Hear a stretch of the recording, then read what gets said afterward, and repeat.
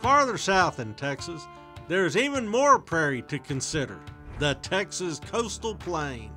Here, the rolling hills of East Texas and the Blackland Prairie give way to nearly pancake flat terrain. Interstate 10 from east of San Antonio all the way to the Louisiana state line is a convenient way to think of its northern edge.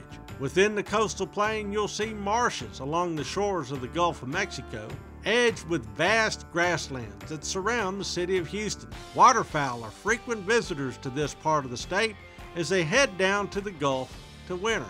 The coastal prairies are fertile and were attractive to farmers and ranchers who were coming to Texas, since the deep, slow rivers that cut across this region gave them access to the Gulf of Mexico.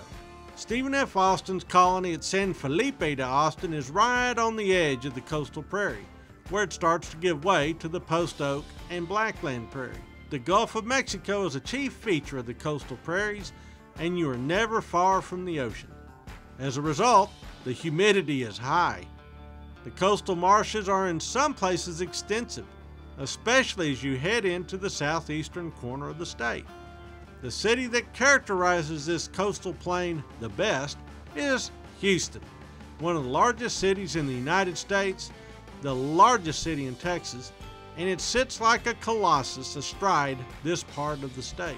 Other cities, including Victoria and Corpus Christi, anchor the southern end of the Texas coastal plain. The development of Texas owes a lot to this region of prairies, marshes, beaches, and estuaries.